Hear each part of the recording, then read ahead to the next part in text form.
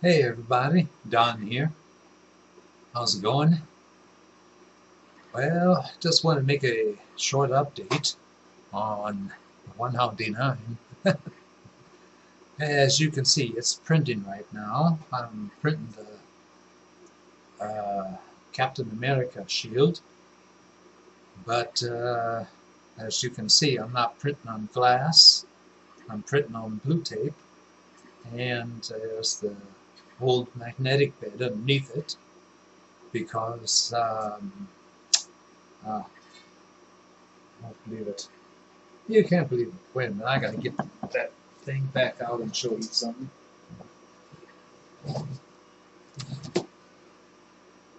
The black cable is hanging down on the side. It's unplugged. The gray cable is back in just to make sure that I have the correct connections. And then I had to go and uh, do a complete new update again, get it back up to the 1.64 B delta, and uh, put the old splitter board on, put the old sensor back on, connect that back up, re-level the bed. That was not easy. Um, and uh, here that's the mount for the BL Touch. Here's the black cable going up to the splitter board. But um, stupid thing is, this BL Touch, yeah, I don't know. When Wanhao was doing the programming, they didn't make the correct programming for the auto bed leveling to compensate that the BL Touch is sitting about two centimeters behind the normal uh, sensor. Because this plug right here when it comes down it comes down behind the bed. And uh, email with Manolo from Wanhao oh man you won't believe it you know what that guy told me? Well, uh, Don, can you just move the bed back a little bit so that the BL Touch comes down and hits the bed? Yeah, you know, that's uh, harder done than said because when the BL Touch comes down,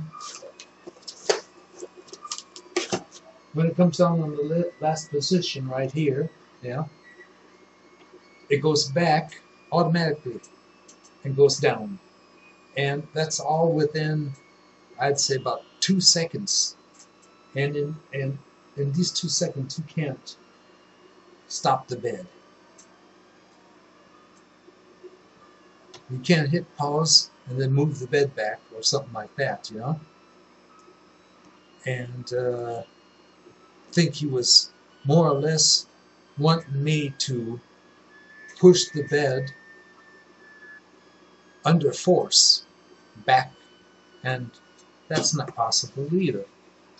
So what did I do today? Because I want to get that thing up and printing and get the stuff done for that young lady next door. I mean, she paid for the filament, so I have to deliver. But, uh, I mean, I gotta get that stuff up and running, you know. And I sent an email back to Manolo telling him, no, that's not possible. And I sent a copy of that to Gary Chen, sales manager, the guy who sent me this one out last year. So we'll see. But uh, yeah, it's going to be going to, it's going to be interesting to see when I get an email because that was the day before yesterday when I sent the email and I did not receive any email yesterday and I did not receive an email today so well let's just wait and see uh, if they're making a new program or making a complete new update, let's say like that, or what's going on. Either that or else I'll need a glass plate that's 325 by 350 so that there's enough glass on the back side so that when it comes down it'll hit the glass plate there but um, yeah oh man I don't think it'd be a good idea if I contact Mama Robot and tell him hey I'd like I was almost ready to make a review and testing on your plate, but your plate is too short. You got to send me a plate that's longer. I don't think they're going to be happy with that. But uh, anyway, just to let y'all know, but that's going to be one heck of a print. Oh man. I almost say I'm using more more support than the product that is coming out.